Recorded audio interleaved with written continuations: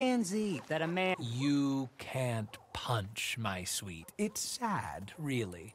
Oh my, our friend. Hello. I bet you can punch. Do me and the lady a favor here, would you? And thrash this impudent wretch. Thrash! No man alive can thrash me. What was your name, sir? Arthur. Arthur could. Easily. You, maybe, but not me. I know. Punch us both. As hard as you can. You'll break his glass jaw, and I'll be left standing. The knight and the knave. Good idea. Hit me then. Dear boy, give the feeble fellow a little tap and watch him crumble.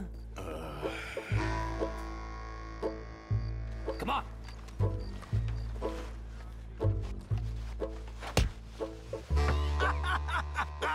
You really walloped him. My yikes! Mm, I'm fine. Come on! Ooh, look there! I got a proper chin. Not like that toe rag. Good Lord above. Doesn't hurt. Hey, hey, hit me again. Right here. Right here. Oh! Weren't you taught never to hit girls? Punch a man for once. Give me your worst. Here I stand. Ah! I think he's done for. Barely even felt it. There's only one thing for it then. Hit me in the manhood. Don't worry, sir. Mine are made of steel. Real steel, huh? No holding back this time.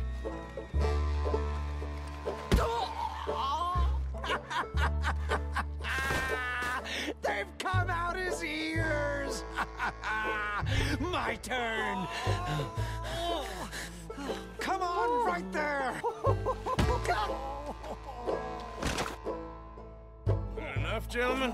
Yes, I think so. Oh, I slipped, and I hope you killed the leprechaun. And he's still alive? Shoot him, please, one of you. There, there, up you get. We need to get some steak on those wounds. Madam, gentlemen, good luck to you.